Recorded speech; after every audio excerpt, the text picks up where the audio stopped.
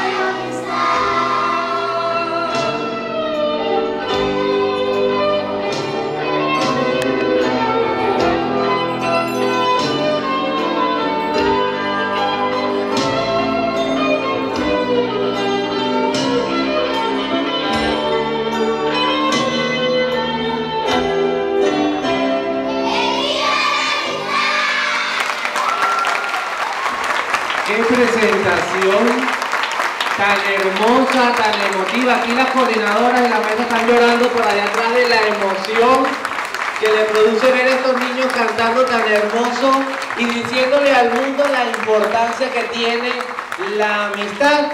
Muchísimas gracias, de verdad lo hicieron excelente por esta presentación. Felicitaciones y esperemos